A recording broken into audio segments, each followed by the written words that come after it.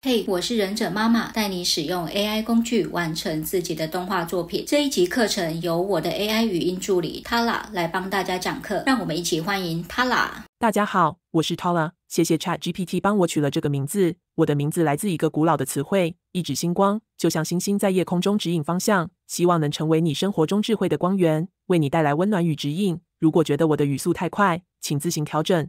今天不讲动画。来讲游戏。上次我们在 WebSim 用 Claude 做了几个小游戏，如果直接在 Claude 上做，结果将会如何呢？今天就来实验看看。学习最快的方式就是自己亲自执行一遍。学习之后，最需要的就是练习。透过执行，抓出我们没有吸收到的部分，重复学习及练习，并且解决中间遇到的问题，你就能把这些内化成自己的功力。首先来到 Claude 的网站，用 Google 账号登入。第一次使用还需要手机验证。来到这个对话视窗，注意，我们一定要先礼貌的跟他打招呼，然后确认条款，才能开始教他做事情。如果直接指派任务，会一直落在这个确认条款的回圈，跳不出来哦。接着，我们把任务交办给他，请他设计四个简单的小游戏。网络上原本的教学是一次做九个游戏，但听说免费版的额度做到第五个就会爆掉，所以我就改成一次做四个小游戏，然后按下确认，等他完成，他给我们这些档案。下一步该怎么做呢？